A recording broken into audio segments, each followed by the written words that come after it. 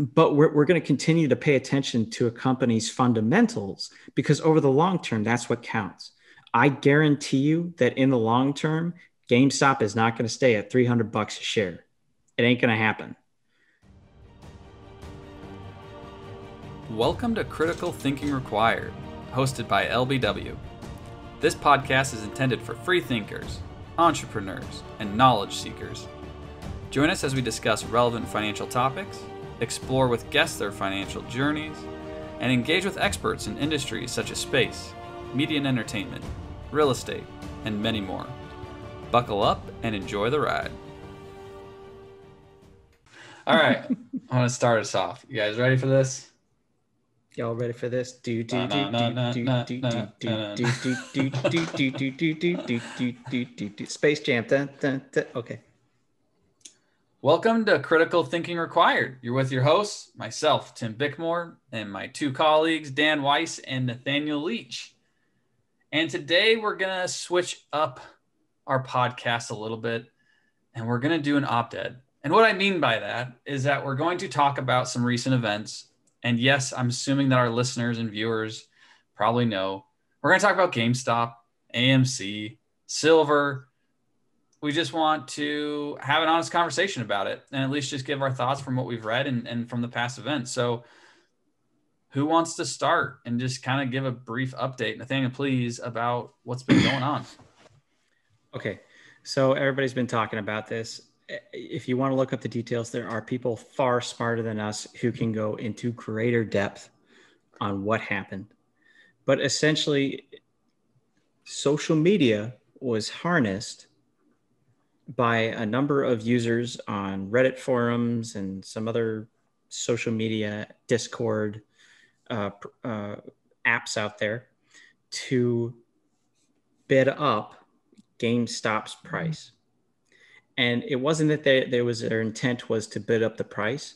Their intent was to get a return on their investment because gamestop was the highest shorted stock on the us stock market and what is especially fascinating was how much it was shorted it was shorted at one point at over 130% of its shares so let me break that down so it had a uh, GameStop has approximately 69 million shares outstanding. 130% of those shares were shorted. So that means that greater than the shares outstanding, that is the number of shares that are out there trading of a company's stock, were shorted.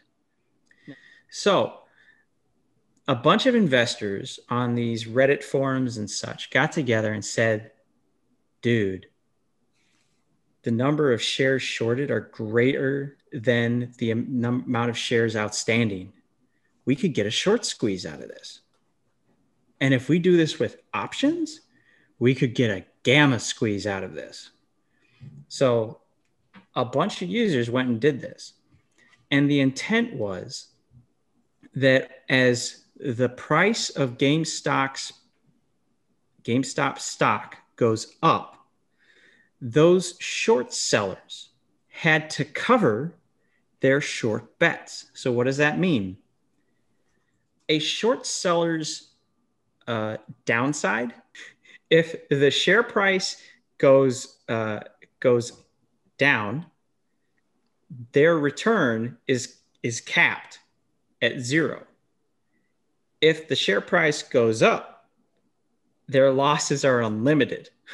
so, as GameStop's price started to go up, because those short sellers had committed to buying shares at a lower price, they had to buy back those shares of GameStop that they had lended, been lended of to cover their short sell because otherwise their losses would might have become in theory infinite so, what was the downfall to all this? How does this affect GameStop? Oh, that's an excellent question, actually. So, it's not just GameStop that is affected. I think that there's a lot of second and third order effects that have to be considered. And I don't want to hog all the time here. I mean, if you guys want to step in, but off the top of my head, GameStop could take advantage of this situation. And they actually, I, I bet you they have. So in late last year, they did something called a shelf registration, which means that at any time, depending on the document, they would have stated we reserve the right to issue this many shares uh, at some at some point and then whenever we want. They may have taken advantage of this, and the, that's an advantage to them because they're then able to raise capital by issuing out their sh- more shares, issuing equity that they can then retain for themselves and reinvest in their business. Now, it's a disadvantage to current investors because it's a dilution of equity, but it's not as bad of a dilution as it would have been at $3 a share versus $300 a share. That's a huge difference. They're not the only company to have done this. AMC Theaters did it uh, more recently. Tesla issued stock twice last year at these crazy high valuations. In our in our opinion, crazy high valuations. Twice they issued stock, you can't hang it, hold it against them. It was brilliant. They should have done that. That makes sense in terms of capital allocation. That's just one example. Uh, another example is FOMO. We love to talk about fear of missing out, FOMO. Investors are going to see this price go up, and then it starts to screw around with your brain because people start to think, oh, I was going to buy GameStop when it was three bucks a share. I should have gotten in. Now people might be think some some person out there on a Reddit forum, some retail investor might be thinking, oh, I should have gotten in. Well, it's still going through a short squeeze. I, I bet you I could still make some more money. And then they go and buy at a higher price. That's a huge risk because the people that got in early, they're the ones who are going to make out like bandits. The people that come in later to the show, they're the ones that are going to suffer in some way or another. Uh, so, based off my understanding, there was also a second order effect to this whole thing where obviously TD Ameritrade, Schwab, Robinhood obviously has been in, in the discussion boards with shutting down the trading um, for the buy side. You could sell, but you couldn't necessarily buy GameStop specifically. And they did this on a couple different other positions that they held within their uh, brokerage. Um, now, my understanding though is that because of this high level of shorting, which created this kind of pseudo margin type effect, that it was really actually not good, where it was going to start breaking down some of the financial system in the sense of the overall like they just couldn't liquid like they just didn't have the money to give back to the borrowers. Like you all of a sudden had a liquidity squeeze due to the high volumes of trading if i am not correct on that, you might correct me there, but that's my understanding of a second order effect where all of a sudden it ripples through the market outside of just GameStop. That that's an excellent point. Um, this could be the catalyst for some liquidity and solvency issues potentially at some custodian and brokers trading platforms such as as Robinhood. So what what Tim is referencing is that Robinhood had to go out and raise they had to raise capital from not only their credit lines uh, their established credit lines but also from their private investors. Uh, initially they had to do uh, 1 billion of capital raise last week. But then they uh, had to raise I heard I heard just recently they had to raise like an additional 2.4 billion. And there was a reason behind this it wasn't because they were just being mean and saying to retail investors, "We're not going to let you buy anymore because we don't want you to." That's that's bull. What actually happened was that all trades have to go through the DTCC, I, I, the Depository Trust Corporation. I, it's like a quasi uh, government entity, but like private also.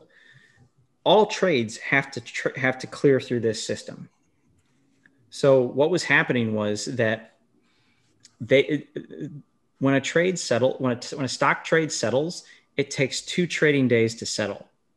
But because the amount of volume of all these buys and sells was going on with GameStop and on margin, Robinhood, for example, had to they had to stop the buy orders because they because the the, the DTCC was saying that you don't have enough capital on hand to settle these trades in case something goes wrong. Like if you can't collect for those people on who are using margin to make these trades, you don't have enough capital to back it up.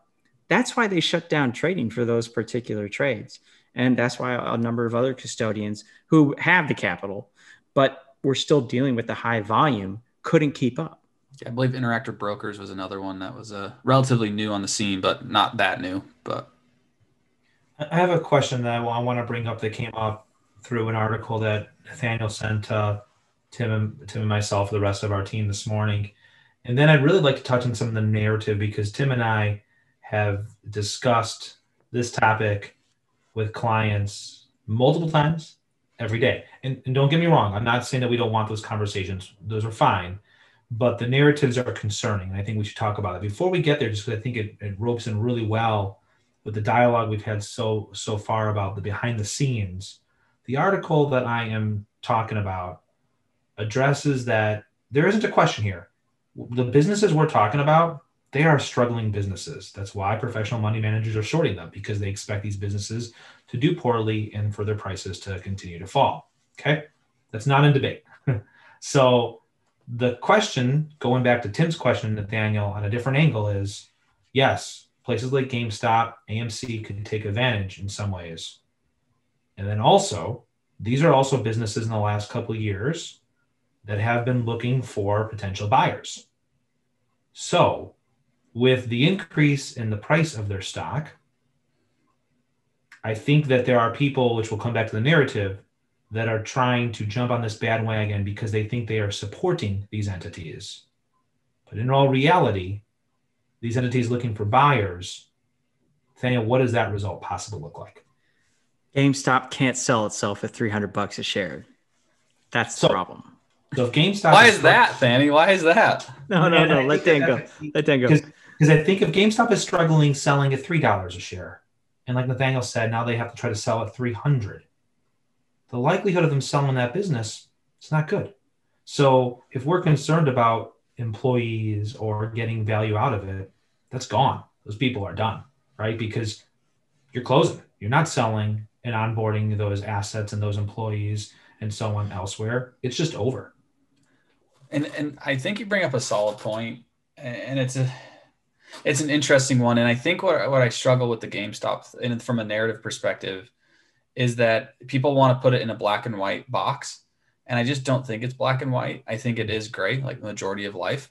I would say all of life is gray, and where it's almost like this Occupy Wall Street. I've seen that where we're occupying Wall Street, but through a way that actually hurts the man. I was like, what man are you really hurting? And like, don't get me wrong. Do I think that there's hedge funds and there's some bad people out there that want to do some negative things where there's a group of hedge funds that are going to negatively promote certain information about a company or you know go about it sure there's just bad people in the world like that's just a fact now on the other side do i think that the group of people that are also promote, promoting and trying to take it down it's the same you're making the same action you're, you're fighting fire with fire in all reality and and at the same time the second and third order effects of the potential is it could really ripple through and, and, hurt a lot of people. Now, I'm not saying that I'm for the institution and, and not saying like, hey, there should be changes, there should be fixes to the institution. The institution is there. But the hard part is that institution is a lot more sticky than I think most people give it credit for. And I and I also think that the burning down it to the ground, it, it can cause a lot more issues to the people that actually were burning it than they sometimes recognize. And unfortunately, that is the world that we currently live in. Like, for example, having margin trading, like maybe that should be reg- like maybe it's showing some weaknesses. And I think there's been other weaknesses shown in 2008 that we should start going after from a regulatory standpoint and being like, hey, how can you actually have derivatives that cause this kind of problem? For example, what Nathaniel was talking about with the gamma squeeze or the short squeeze and having more shorts than there are actively open shares. I mean, that just doesn't make sense to me. So, but it's it's again, it's gray, and I think you're is it's a zero. I think in I don't remember which which movie it is, but uh, uh, what's the movie? The Wall Street is it Wall Street? Wall Street. Gordon Gekko. Called Wall Street. Yeah, and he talks about mm-hmm. it. It's it's a zero sum game. Someone's gonna lose. It's just who do you want to lose? And that person, people who are losing, might actually then get affected as well. Like it's just it's more dynamic and more intricate in my mind. But it, it paints some of Tim's picture, for example, right? So in talking to people, we've been getting a lot of, well, just want to fight back on people betting on businesses failing. That's sad. Um, it is sad that businesses fail. They do though, um, and we've been getting comments like, you know, these these billionaire hedge fund managers are making a ton of money on on the demise of these kind of concepts. It's true. That's true. But like Tim's saying, here's what you have to understand. A couple things here. For one, that hedge fund manager, if they're doing their job correctly, most of them probably not making one solo bet that happens to be a hedge on that company. That's unlikely, right? Meaning that if it does go kaplunk, will they lose a ton of money? Yes. Will they still have a ton more? Yes, they will. So will affect their quality of life? Probably not. Probably not. So, but who will affect though is the fact that those same managers are involved in state pension plans that perhaps our local teachers are uh, participating in. Perhaps they're involved with funds that make up your 401k. You may be hurting yourself. So at the end of the day, and this is sad that this is the way the world works, but it is, the, the little guy gets hurt because they're not able to be insulated like the big guy. And so someone is getting hurt. It's probably not the person that you're intending to hurt. And somebody is definitely walking away with a total win. Who's walking away with a total win? Well, person that convinced the influence to be able to go ahead and make these these rounds, right? So Mr. Gill, the former employee from Mass Mutual, um, that is a credit is given credit to pushing a lot of this concept on Reddit. The first day made twenty million dollars. Benefited.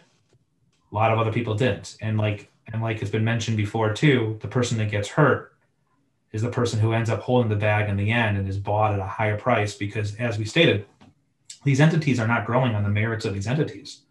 They're growing because simply others are throwing money at them.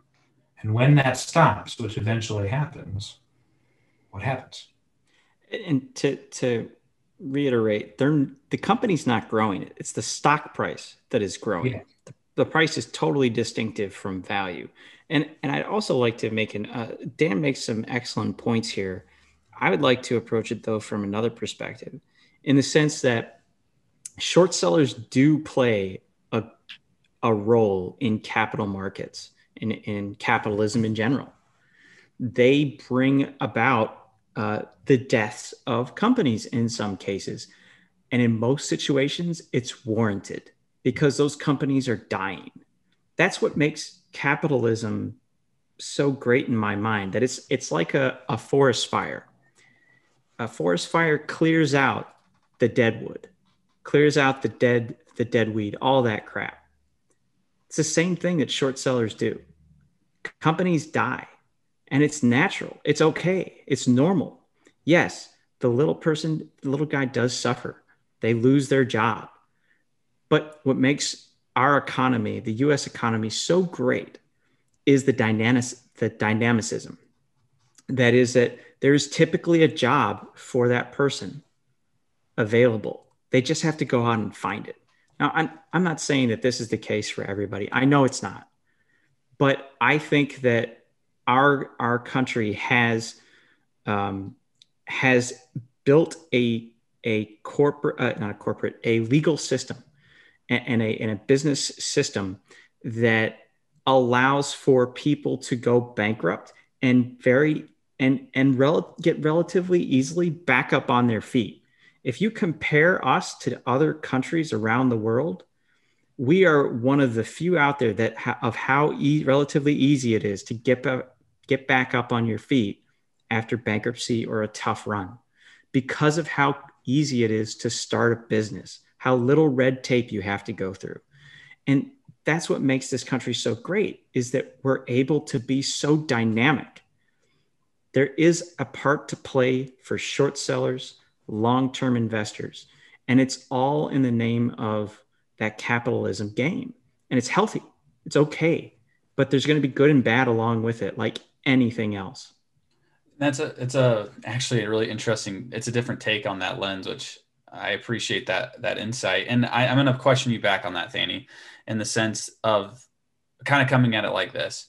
So, in the sense of capitalism, you have these bigger institutions, these bigger players that may have different information than the general public that are willing to put some bets behind these shorts. And now what we've seen is the power of the general public coming back and and fighting against that that trade, right? And and they were very successful in that, right? So how do you feel about that power dynamic shift in the sense of in the name of capitalism? Where you can all of a sudden have social media gather multiple people, which means you can put enough demand behind a certain play to start driving those prices. And we wouldn't have been able to do this 10 years ago. You know, 2000, even if you went back to 2009, I mean, think about where technology is and social media. It's like, what are your overall thoughts from the standpoint of social media providing a space for the general public, in addition to fees being reduced at significant rates down to zero, aka Robinhood, to allow easy access to the capital markets in this way, then having social media be the place where they can group together in an instant to then push a trade, which capitalism d- d- essentially created that ability for the general mm-hmm. public to do. I, I think that it's normal, it's evolution, and, and I see nothing wrong with it.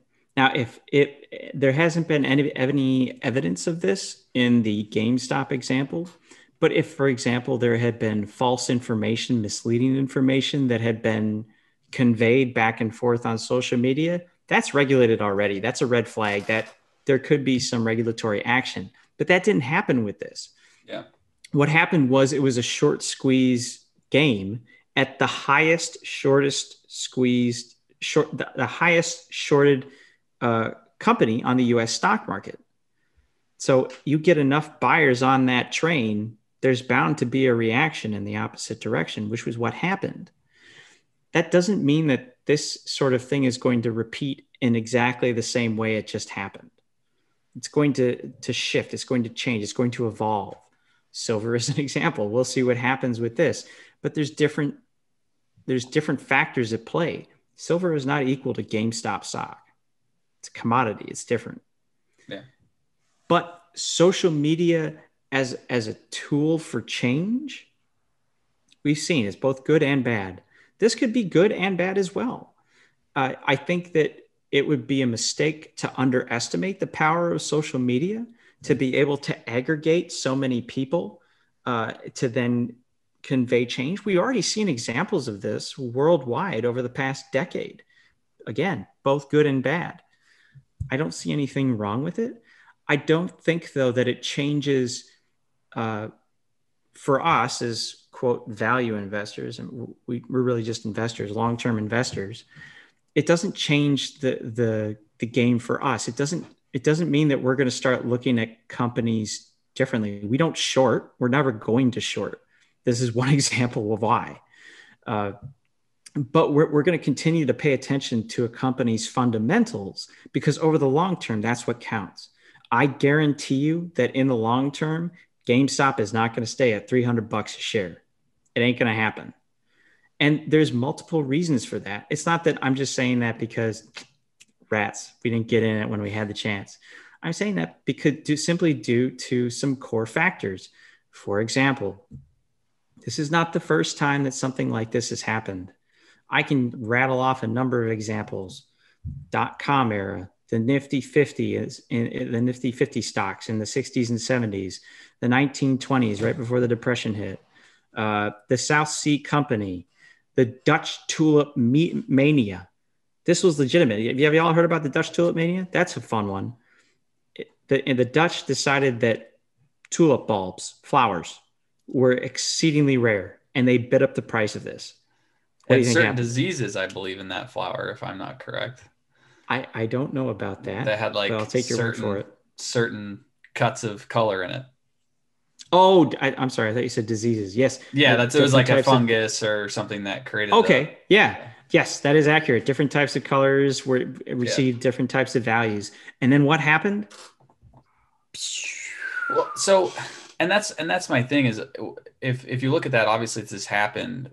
But what's interesting i think i honestly maybe dan this is a question for you but what's feels just different and it could be obviously my age and just being in the market you know in the the era the era of technology but the quickness at which this gets spread has to be exponential relative to those past histories. Nifty 50 there's no way the information could spread at the at the pace and the quickness as it is today. I mean, GameStop happened, and I was getting people asking me questions about it, like not even an hour later. Like, what's going on with GameStop? So, like, the speed at which information can be transferred is just to me in like it's just eerie. Like, it's just like how quick and fast and widespread it can be can get which then if you then couple that again going back to technology where before let's say we go back to the 90s you couldn't get in to positions that easily. You technically probably needed still a broker to a degree. There are still online platforms. But today there's a like robinhood literally tells you to invite your friend to give them free stock. Like that's how low cost it's become to enter into the market which means that a subset of people that weren't able to get in are now there which then and then you mix that with social media. To me it's just like wait a sec. That's a different marketplace relative to the nifty 50 era. And uh, the speed of information has drastically increased. But so then what does that mean? That means that most likely the, the build up to this was really quick right in comparison to all these past other manias. What do you think that means for the going out part. Hard. I'm not fast. saying it's going to immediately crash. I'm not saying that. It may continue on for years, but this concept, it's a tool. Social media is a tool. Short selling is a tool. It's all about how you use them and then how quickly you get bored of them. In this particular example, we have to also consider other factors. It all it, it boils down to supply and demand. Are there going to be enough sellers to continue to raise this price? At some point, nobody's going to want to want to sell anymore because the price is so high. But then eventually, somebody's going to pull their finger, and the dam's going to break. The price will eventually start to go down because people are going to want to start to sell and take their profits. It's guaranteed. Other things with regards to where we are right now, pandemic, not as some people aren't working. So what are they doing? Day trading. Some people don't have sports to bet on anymore. So what are they doing? They're gambling. Where are they gambling? Day trading. Uh, it's even a worse casino because I think at least inside of the casino setting, you have a, have a pretty good idea as to what your odds are, and you don't here. So it, it you know, and bad bad decisions I feel are fostered when they're applied to a rapid and short time frame and um, that's what's I think happening more so to Tim's point about us seeing this in the information age is because you combine that with the fear of missing out and you have to react before you can really honestly think about it and you make bad decisions. And i think that's perhaps the fact that we haven't seen to the same extent with some of these other crises that we've seen before. In fact crisis i think is the word because although our the way we try to invest on a merit based fundamental concept doesn't change, I honestly am very, very concerned and worried and scared about the you, can bleep this out later if you like, but the mind that this does to people.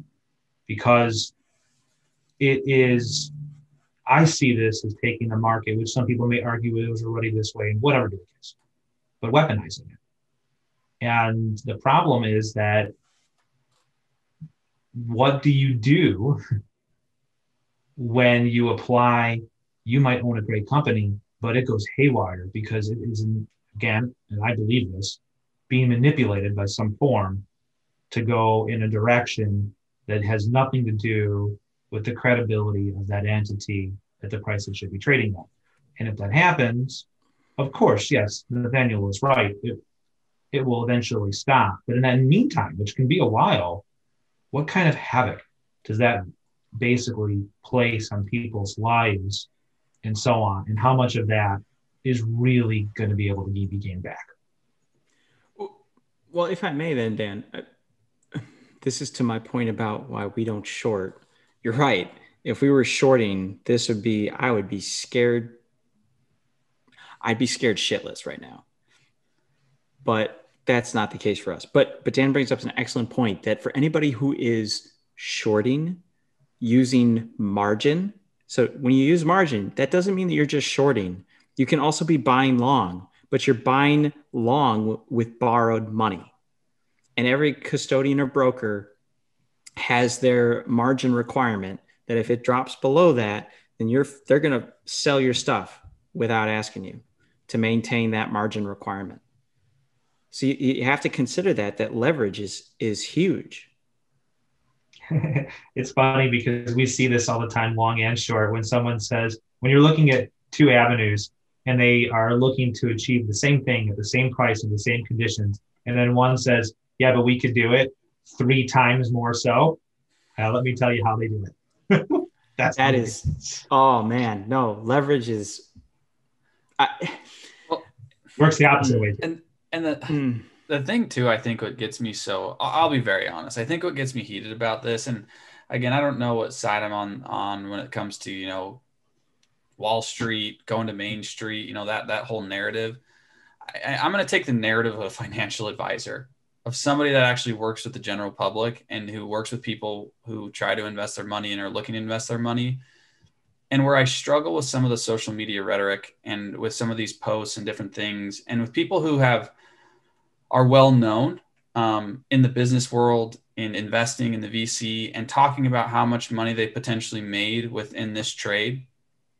And they talk about it in the sense of, hey, I put in $100,000 and I made X amount I really, really struggle with it. Like I struggle with it to the point where it's like it's almost like extremely frustrated because I can get behind the idea, and I know this is going to be the answer. Well, everyone can just make their own decisions. If they don't want to do it, that's their choice. If they want to leverage their house, it's their choice, right?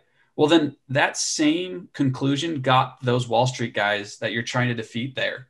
That's not my fault. I'm shorting the stock. I'm screwing the little guy. I don't care, right?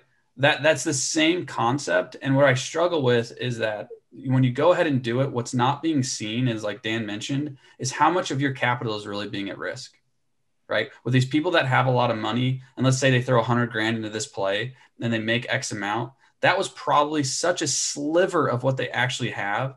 And then people watch that regardless if they want you know if they know that or not or think about it like that they go ahead and then they'll take their actual 100 grand that's all they have throw it into this kind of a concept and lose it all and they'll go into bankruptcy and they're never coming back.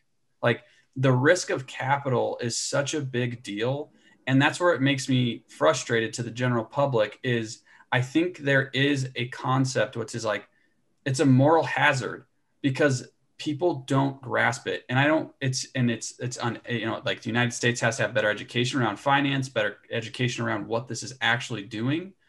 Because I don't think if you're in a position like that to start spouting off about this only drives the fire and will drive those people directly to the fire and they're going to stay in the fire and you're not. And like again, you can make the argument, well, they're going to do them. It's they have to educate themselves. But at what point is that is that a responsibility of someone to say, "Hey, hey, hey, I did this because again, it was 0.1% of what I can invest. If I would have lost it, it was like you losing a dollar it's like you losing a dollar. But if you put a dollar into this concept, you're going to make five. Right? It's like, like cryptocurrency investing. It's it's just and that's what's frustrating about it is like this isn't a joke and people will risk a lot of capital into concepts like this that they don't have the capacity to do it. And they watch it and like even the the trader whoever started it, you know what I mean? Like some of these traders on this Reddit forum based off what I've read are not just random joes. They're professional traders and they've used social media to their advantage. Good for them. That's exactly what they can. But like recognize the game you're playing. And we talk about that a lot. And it's it can be very dangerous for a lot of the people that might be playing the game. Really makes me angry too for the same reasons. Yeah, it's frustrating as all hell. Talk about the time. I mean, it's I, I think anybody who takes onto a public forum has chosen to do so my personal opinion is that means that they should accept the responsibility that they're in a position to influence others and that others are easily influenced. And whether or not that is on them or not, that's the reality of things. Very, very similar to we have elected to be held to a certain standard because of the license that we carry within our industry. We have a responsibility then to put people's interests ahead of our own. And we chose that responsibility because it's the right thing to do. And we tied our feet to that rock. It drives. And this is also a hot topic, I think, too, because there are other conversations like the cryptocurrency conversation, like cannabis now, actually, a couple of years ago, but we'll see it again um, that come up about this concept of decentralization and independence. And um, I don't have a problem with that idea. Really, I don't. Um, but I have a problem with the reality of that idea being masked. Decentralization sounds great, but there's always somebody that's going to try to rise to power. And those hands, they shift. So when you're trying to knock a person off their high horse that's just the reality of the world. There's someone else that will jump back right on. So when we talk about the Occupy Wall Street concept, well, I think it's I you know I worry about pushing one person off to get somebody else on, and you're basically in the same situation. Anybody that's seen Star Wars or Hunger Games, you know what I'm talking about. I, have a, a slightly, um, I, I disagree with you guys to a certain extent. Tim, I strongly agree with what you're saying about education. Strongly agree. But unfortunately, I think that that's like a fund. I think our educational system is fundamentally broken in a sense, not just with regards to financial education, but just in general. I think it needs to be rebuilt from the ground up, unfortunately. However, I do disagree with you both in the sense that Dan, I agree with you. If you go on a social media platform and you start to spout off about something, hey, buy this, buy this, buy this, because it's a short squeeze, a potential short squeeze, I totally agree that, hey, full disclosure, I own I own some of this stock. I, I that is completely legitimate. I completely agree with that. What I don't agree with though is that I think that information today is very widely available that people can educate themselves from from the internet for example. And i think that there to what i struggle with is like is the ebb and flow of who where where is the line of responsibility here between a person knowing and understanding what they're getting involved in and then the government and the regulators and legislative body who are trying to control this risk. I really struggle with that. Like, where does the line go? It's kind of like totally different topic, but similar. The idea of universal income. My definition of the bare minimum is going to be completely different to yours and Dan's definition of what you need to get by that's what I really struggle with is that it's the same concept applies here. What is your de- now even with our educational system, let's if everybody's educated the same, even then it boils down to what were you taught by your parents? Maybe you didn't grow up with a two parent parent household. Like uh, maybe you only had one parent and that one parent was working three jobs to support you. Like they don't have the time to to teach you a lot of this stuff because they're trying to, to make enough money to support you. Like there's so many other factors involved. Everybody's different. So where i'm not saying i know where the line is drawn but yeah. where sh- how, how, do we get there? I mean uh, the comment that i'd make on that and i mean i'm glad you bring up the, the that right? That's the opposing side to the argument and I'll be upfront about my bias. I think I get frustrated just because I know what's behind the sheets of a decent amount of people. And I know how people are making decisions and I know what people are looking at. And I see the FOMO and I see the behavioral biases on a consistent basis that make people make inopportune decisions about their finances. And I can tell you that before really getting into this type of work, that you could read about biases, you could maybe try to understand about yourself, but when you start watching it on a scale of multiple households, multiple people, it's very apparent and very, very real that sometimes these these decision making isn't necessarily due to not doing your own research.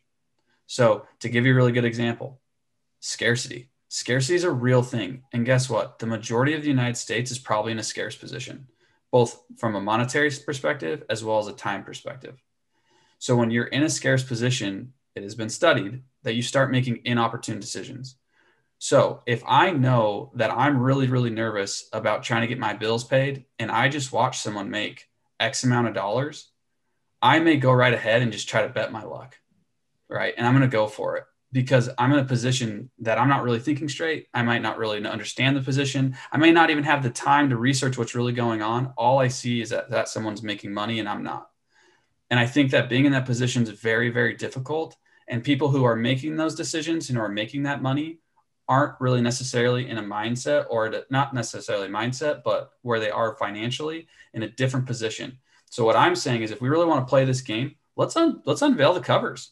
Let's start telling, hey, this is what my net worth is. This is how much I have. This is what it means to me. Because everyone's making these financial decisions and watching everyone else, but they only see the tip of the iceberg. They only see what they see based off of social media or anything else. So like that's where all of a sudden I start struggling is that if, for example, and I probably, I'm not very active on social media from the standpoint of like, hey, this is what I'm doing, here's my life.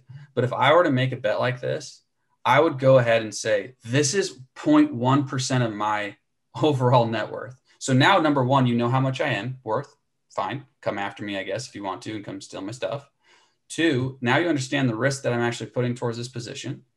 And then that's providing education to the person that's like, wait a second, that's really a small percentage. If I compared it to like, I have this much, and if you had this much, this is how much it would be equate to you. Now go ahead and try to make that decision. You could educate those people who are not educating themselves just by revealing the, the full information about the position you're making. So at what point do you start saying like what's right or wrong? Now you could say, well, it's my privacy. I don't want to do that. Then I just don't think you should promote it onto social media then just don't do it. Our system is not going to always be 100%. But what we can do is, is we can try and get as close to that as possible. And I, I think that we should. But I, I don't, I think that there's a lot of other parties involved that would all have to come together and and make make stuff happen. What's interesting about some of these I'll go back to 2008, right? 2008 was detrimental for so many people across the United States, across the world. And but what it did is it made the regulations on banks tighter. It made them have higher capital requirements. There's just different things that came out of that event. And I think that is one thing that you can take from events like this is it makes it forces a lens on the the system and said where is the system breaking and where can it, you know, come together right? And i think that that is one one part that i i'm optimistic about is that hopefully if there and i'm not saying you know if, if there was issues or if there was something going on with the, the idea of social media is that our policies and our regulations can catch up with the times because techno- technology is advancing just at a, at a hyper speed relative to policy change. And actually i wanted to mention something that nathaniel actually um, more so turned my eyes was years ago when I had a child, um, you know, come into this world four years ago, Nathaniel started sending me articles. Uh, hold on, this will make sense in a second.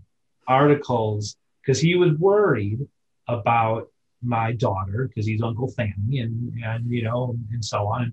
So he started sending me articles about horrible things that social media um, is doing, influencing young kids, and so on. So that I was prepared and educated on on things to to keep you know Leora away from himself, which I greatly appreciate. Um, this is why we love Uncle Fanny. Just throwing that out there. And you know, and I send I'm, you stuff that is none of my business sending. No, no, it is what I do. I'm glad you do it. yeah, and I think I maybe thought about this beforehand, but I don't have a, I don't recall that I did. But I definitely started thinking about it then. I very much worry about social media, and uh, you know, I have we have a lot of clients that work in social media. I use several different platforms myself, but looking looking into the future and then looking back, I just worry that we're going to see a lot more negative things come out of social media than positive. things. And here we're talking about a number of events, manipulations, whatever you call influences coming off of social media. And it really, um, it really worries me because at the end of the day, social media is a form of reality TV. And it's not all real because reality TV is not about being real. So, my final thoughts on this podcast, which I'm going to re-emphasize that this is just an opinion and on, what's going on. And, and we talked about a lot of different uh, uh, ideas and thoughts. And I, and I want to emphasize my where I'm coming from from a lens perspective because I think people probably should do that more often. Is Nathaniel said very well, life is gray, and typically you're using a certain lens to evaluate a problem. And there's multiple lenses that can be applied to one problem. You'll probably see different solutions or different breaks. And my lens comes from working with a lot of people and from a financial perspective. And I think that it creates a bias. It creates a bias that I get frustrated watching others promote it and joke about it, where I've seen what it can do to somebody if they decide to get involved in it because they just don't quite understand it or they don't have the means to necessarily do it. And um, I think that creates a lens for me that is not always looking at every angle. And that's why I appreciate the two of you because Nathaniel, you bring up really, really, really good points um, about capitalism. You bring up good points about shorting. Um, and I think that you always have to take a step back and look at it from all angles to see exactly what's going on and, and assimilate that information. So my final thought is that you any of my thoughts were coming from that angle and that position just due to the work that we do. Um, and so overall, I just wanted to clear that space. I think that social media as an engine, as a tool, can and will continue to be utilized in the fashion that we have recently seen. But it is one additional factor to the machine that is that will continue to run off of basic principles, which simply is in the long run, the markets are a weighing machine. In the short term, they are a voting machine, to paraphrase Ben Graham. The fundamentals will always win out in the end. You just have to have a long enough investment time frame to see that come to its fulfillment. I think also that it comes down to supply and demand. Eventually, it will be impossible to buy, for example, GameStop at a price that somebody is willing to sell it at because somebody will want to they'll want a higher price higher price higher price it'll bid up bid up bid up bid up but then eventually someone is going to say i want to sell and then it may start to snowball. When that happens, we don't know. But we're not going to, for us, risk our clients' money on a bet like that for uh, FOMO purposes. We're not going to be the fool holding the bag when that happens because it's just not worth the risk. You, you have to be rational about what you're doing with your money. You have to look at it as Tim described it, how much is this as a percentage of what I can truly spend, invest versus my net worth, investable assets, whatever be the case? And be honest with yourself. If you really can't afford that, then you shouldn't be doing it. And that's all right. Don't do it. So, with that, we want to thank you for listening to three guys talking about what they love. And we wish you a good night. Thank you for taking the time to start your journey of thinking differently and listening to LBW talk about stuff they love. Until next time,